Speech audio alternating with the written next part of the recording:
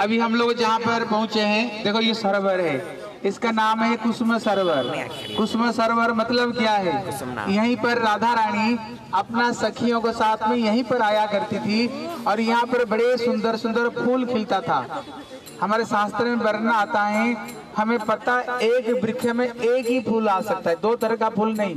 लेकिन वृंदा देवी कृष्ण सेवा के लिए एक वृक्ष में बेली, चमेली जुई और माधवी सारे फूल एक वृक्ष में खिलता था। हमें पता एक वृक्ष में एक तरह का ही फल हो सकता है। लेकिन यहाँ पर एक वृक्ष में पपीता भी है चीकू भी है केले भी है अंगूर भी है। एक वृक्ष में ये वृंदावन में ही संभव है। एक वृक्ष में एक तरह का ही पत्ता हो सकता है। लेकिन यहाँ पर एक वृक्ष में हर तरह का पत्ता खिलता था। क्यों? कृष्ण सेवा के लिए ये वृंदा देवी बड़ी सुंदर सुंदर यहाँ पर मनोरम स्थान प्रकट कर देती थी। और यहीं पर राधा रानी सखियों के साथ में आती थी, आकर के सुंदर सुंदर पुष्पों को चयन करते हुए सुंदर माला बना करके कृष्ण को राधा रानी पहनाया करती थी। इसलिए ये सर्व का सरवर का नाम है कुसुम सरवर की। उसको पास में नारद कुंड। यहाँ पर अगर तीन, चार दिन अगर परिक्रमा रुके ना, तभी जा करके अच्छे तरह से दर्शन कर सकते हो। इसलिए यहाँ पर नारद कुंड है। यहीं पर नारद जी, जब शंकर जी से उन्होंने अष्टकालीय लीलाओं को श्रवण किया, कैसे ब्रज गोपियाँ कृष्ण की सेवा करते हैं। अभी नारद जी की मन में इच्छा हुई, हम भी राधा कृष्ण की सेवा करें। लेकिन किसकी कृपा में प्राप्त होगी? तब उन्होंने शंकर जी बोले, वृंदा देवी के पास में जाओ। कल हम लोग गए थे ना वृंदा देवी की मंदिर। बोले, वृंदा देवी की कृपा नहीं होगा तो कोई भी ब्रज में प्रवेश नहीं कर सकते हैं। जब वृंदा देवी को पास में गए, बोले, देखो, ये जो गिरिराज गोवर्धन है, जब तक गिरिराज की कृपा नहीं होगा तब तक कोई भी कृष्ण लीला में प्रवेश नहीं कर सकते इसलिए श्री नारद जी यहीं पर आए। तुम दो ना? श्री नारद जी, कथा और एक मतलब और दूसरा हाँ इसलिए रुक जाओ थोड़ी सी, रुक जाओ। इसलिए यहीं पर नारद कुंड है, यहीं पर नारद जी गिरिराज को आश्रय करते हुए यहीं पर उन्होंने साधन भजन किया।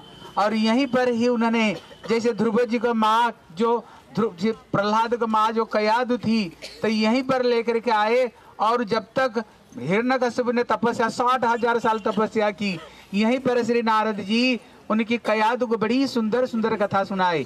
लेकिन कयादु स्त्री थी स्त्रियाँ तो सब बात को भूल जाती हैं। ये प्रहलाद महाराज बच्चों को कह रहे हैं। बच्चों ने जो पूछा प्रहलाद तेरे को इतनी मीठी मीठी प्यारी प्यारी कथा कहाँ से सुनने को मिली?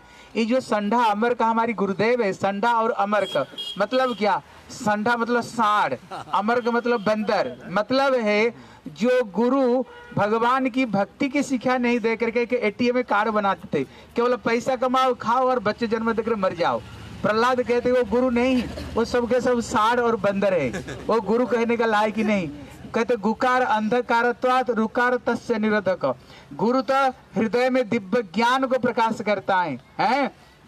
प्रहलाद ने कहा, हमारी गुरु जी प्रहलाद श्री नारद जी, उनने जो मैया की कथा सुनाए मैं माँ की पेट में बैठी बैठ कर सारी कथा मैंने सुन ली। मैया ने हमें सब ज्ञान श्री नारद जी ज्ञान दिए हैं। इसलिए प्रहलाद ने क्या शिक्षा दिया? बोले, भगवान की भक्ति बुढ़ापा में नहीं होता है। कुछ माताएँ सब परिक्रमा करने के लिए आज चल नहीं पा रहे, बैठ नहीं पा रहे। इसलिए शास्त्र में बताया, जो भक्ति है ना, ये बचपन से करनी चाहिए। इसलिए उन्होंने के श्लोक बोले बोले, कौमार आचरते प्राज्ञम, धर्मान भागवता निह दुर्लभम मनुष्य जन्मम तदपि अध्रुवम अर्थदम देखो, कितने बड़ी बात कहते हैं। भगवान की भक्ति हम क्या जानते हैं? रिटायर्ड लाइफ में शादीशुदा नौकरी चाकरी करके बच्चों को हाँ शादी फादी करके जब रिटायर्ड लाइफ होगा ना, एक दो मला सटका लेंगे। लेकिन प्रहलाद महाराज या सीधा कह रहे हैं, भैया, भक्ति बुढ़ापा में नहीं होता है। भक्ति तो बचपन में करनी चाहिए। वो तो कह रहे हैं, पाँच साल उम्र से भक्ति शुरू कर दो। तो बच्चों ने पूछा, प्रहलाद, पाँच साल से क्यों करे? जब बड़े हो जाएँगे तब करेंगे? प्रहलाद कहते हैं, कोई गारंटी कार्ड तुम्हारे पास में रखा हुआ? अभी कोरोना में कितने लोग मरे? कोई सोचा था मर जाएँगे? हाँ न्यूज़ पेपर पढ़ करके देखो, कैसे कैसे लोग बैठ बैठ करके एक्सीडेंट में कैसे कैसे लोग मर जाते हैं। क्या तुम्हारे पास में कोई क्या गारंटी कार्ड रखा हुआ? अगर बीच में राम नाम सत्य हो गया तो तब प्रहलाद ने कहा, बच्चों ने कहा, नहीं तो अगले जीवन में भजन करेगा। बोले, जानते हो ये जीवन कब कब मिला है? बोले, दुर्लभ मनुष्य जन्मम। ये तो चौरासी लक्ष्य जन्मों के बाद में एक बार मानव शरीर दिया। ये जीवन बारंबार ठाकुर जी नहीं देते हैं। ये तो चौरासी लख जन्मों के बाद में एक बार भगवान ये मानव शरीर दिया, है? तो उन्होंने बहुत सारे उदाहरण दिए। हमें बचपन से क्यों भक्ति करनी चाहिए? देखो, उन्होंने क्या उदाहरण दिया। जैसे कोरे कागज़ है ना, कोरे कागजों के ऊपर में जो लिखोगे ना, वो स्पष्ट दिखेगा। लेकिन कागजों के ऊपर एक बार लिख करके, उसको ऊपर दो बार लिखने के लिए जाओ, दिखेगा? वो दोनों ही जाएगा। जैसे बाँस जब कच्चा हो ना, जिधर टेढ़ा करना, वो टेढ़ा हो जाएगा। लेकिन जो पक जाता है ना टूट जाएगा, लेकिन टेढ़ा नहीं होगा। है? फूल जब खिला हुआ रहता है, ठाकुर जी के चरण में दे सकते हैं। जब मुरझा जाता है, ठाकुर की सेवा में लगता है? नहीं लगती है। पौधा जब छोटा होता है, उखाड़ करके दूसरे जगह में लगा दो, जम जाएगी। लेकिन पौधा बड़े हो जाने पर उखाड़ कर लगेगा? वो लग ही नहीं सकता है। हैं? इसलिए कहते, भैया, कहते रिटायर्ड लाइफ में करोगे? बोले, सरकार क्यों रिटायर्ड करता है? सरकार क्यों रिटायर करता है? देखता है और तुम्हें तुम्हारी बस का काम नहीं। और सात आठ घंटा बैठ कर काम नहीं कर सकते। बात जाओ, हो गया तुम्हारी। जो कुछ हो गया तो घर में जाओ। अरे जब साधारण संसार से काम से तुम रिटायर हो गए हो, भगवान की भक्ति में क्या लोगे? इसलिए कोई भी बुढ़ापा में भजन नहीं किया। शास्त्र उठाकर देखो, प्रहलाद कितने साल में किया? पाँच साल में। ध्रुव जी कितने साल में भजन किया? मीरा ने कितने साल से भजन की? तुलसीदास ने कितने साल से भजन की? हनुमान जी कितने उम्र में भज, कोई बुढ़ापा में कहीं भी शास्त्र में नहीं लिखा हुआ बुढ़ापा में भजन होता है। उन्होंने तो डायरेक्ट मना ही कर दिया। बुढ़ापा में कुछ होने वाले नहीं है। क्यों क्यों नहीं होगा? देखो उन्होंने क्या प्रमाण देते हैं। बल जब उम्र हो जाते ना कान में तो सुनाई कान पड़ जाता है। यहाँ पर कुछ माताएँ आए जब नीचे बैठते बैठ नहीं पाते। घुटन दर्द है। चलने बोले चल दो दो दो को चल नहीं पा रहे हैं। हैं? आँख आँखों में कमज़ोरी हो गया। कमर में कमज़ोरी हो गया। सारे में तो कमज़ोरी हो गई। भजन क्या करोगे? गया तुम्हारे जाता हो सबके सब तो गया। तो भजन क्या करोगे? अब स्वयं देख लो, जब ज़्यादा बड़े बूढ़े हो गए हो। आप दस मिनट बैठे भजन करने के लिए, दस मिनट ज़्यादा नहीं। एक मिनट भी मान भजन में नहीं लगेगा। आँख बंद करते ही नाती पोती, बेटा बेटी, नौकरी चाकरी याद आएगी। अब स्वयं देख लेना, दस मिनट बैठो। एक मिनट भी मन भजन में नहीं लगेगा। क्यों? रील में जो भरा हुआ तो वही निकलेगा, है ना? हम तो दुनिया में रील में तो दुनियादारी भर दी है। अब सोचोगे भगवान की याद करोगे, कहाँ याद आएगी? असंभव है।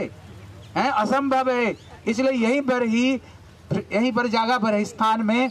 यहीं पर नारद जी प्रहलाद को ये दिव्य ज्ञान प्रदान की, बच्चों, भगवान की भक्ति बचपन से शुरू कर दो। बचपन से भक्ति शुरू कर दो। बचपन में देख, ऐसे छोटे बच्चे को पढ़ाओ।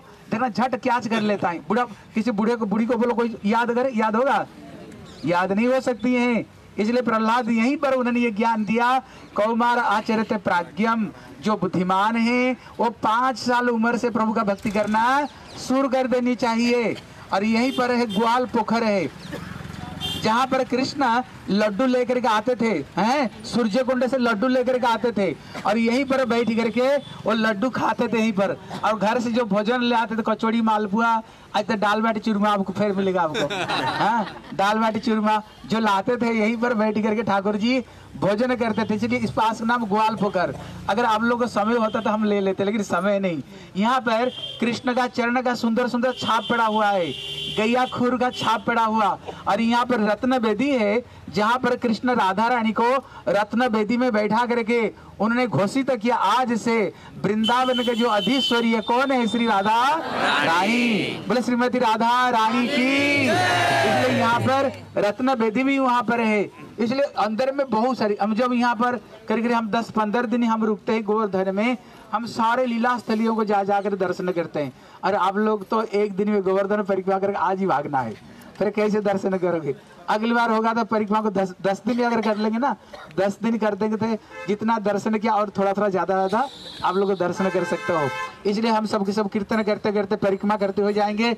ये कुसुम सरोवर है, इसका पानी आप लोग को देता हूँ। で。